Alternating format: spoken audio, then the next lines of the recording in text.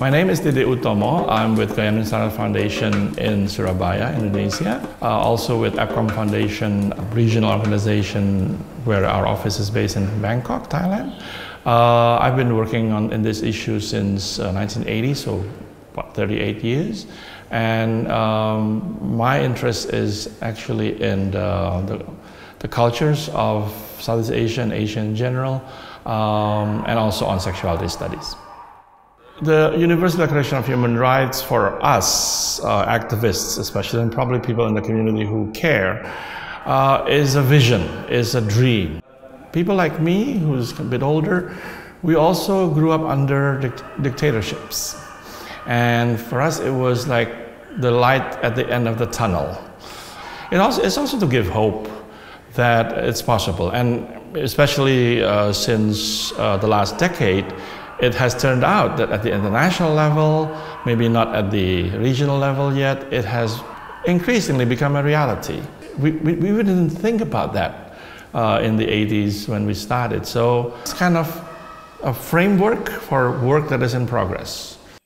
Indonesia, Thailand, Philippines were for including sexual orientation, gender identity in the uh, ASEAN Declaration of Human Rights, but of course the other states uh, you know, didn't accept that. Okay. The most beautiful thing is the UPRs, the Universal Periodic Reviews at the Human Rights Council, which you know happens every four years, and whether you're Iran or Indonesia or China, you cannot run away when, let's say, question, you know, hey Iran, what are you doing to your LGBTI population. Like, uh, you know, you cannot say, I mean, you could always uh, go to the bathroom and pretend that that question wasn't there, but you have to answer it. So the, um, it's not perfect. Many people are cynical about the UN, but it's the only contract we have between our states and the international world. Our situation is work in progress.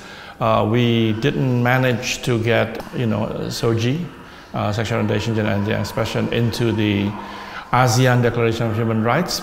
Yeah, and then there's Pink Dot Singapore. There is the possibility of gender legal gender recognition in Thailand. Vietnam has been, you know, uh, mulling over uh, family law, um, and the Philippines. There is actually a same-sex marriage bill.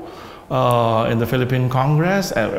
So that's at the state level. At the activist level, of course, we use it Sometimes we cannot use it at the national level, use it at the local level. I've learned from this work that you have to treat society, states as non-monolithic.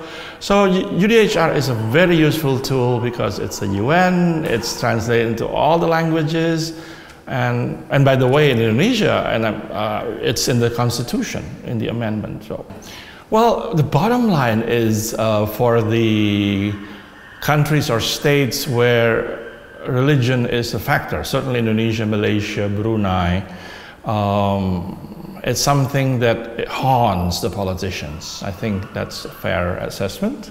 Now, Singapore, of course, is an interesting case because you don't think, but, but the, Christ, the, the Christian conservatives could, I mean, they've actually stated it, they, will, they could bring down the government, and I think the Lee dynasty is a bit nervous about that. That's why, so it's, there is religion, and and then the countries like Vietnam and maybe Thailand, where religion is not that much of a specter, um, then it's culture. Uh, although Vietnam, for example, has changed. Uh, homosexuality used to be called social ill. Now they said, well, maybe it's not social ill. So there, even their socialism has shifted a bit.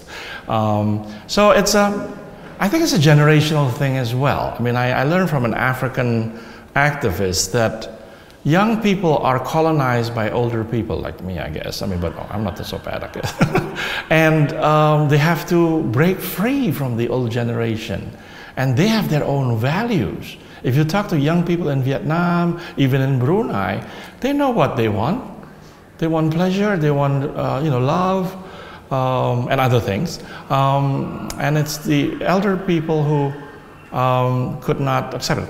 I remember Ban Ki-moon, the former Secretary General of the UN, once said, you know, I grew up not understanding sexual orientation and gender identity, but I quickly learned that culture and religion cannot be used to violate human rights. It was used to violate women's rights We do not want that to repeat.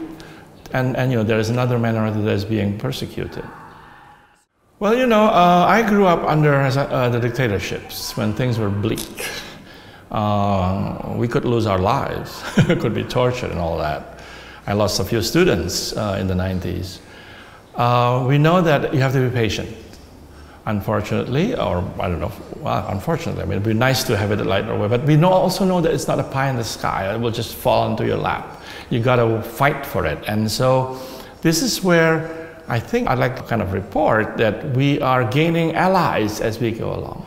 And we got theologians who are siding with us, but also we got human rights lawyers who now understand, I think, in the Asian context, that you cannot have partial human rights Human rights are universal, they're total. Uh, you cannot just be selective.